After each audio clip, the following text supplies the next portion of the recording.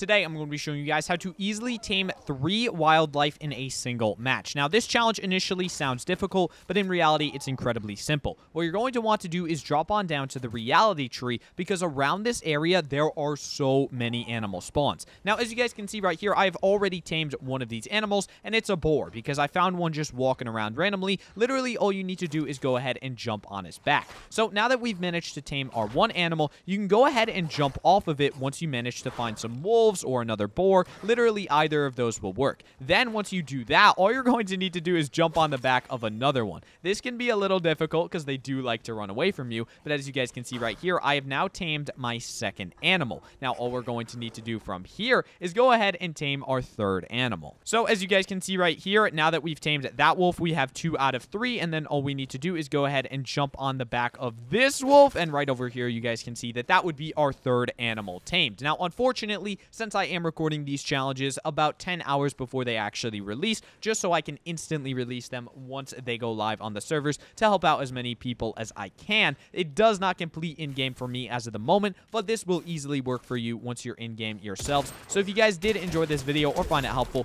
then please consider leaving a like on it and subscribing to the channel as that would help me out a ton. I hope you guys all have an amazing day, and I will see you guys in the next one.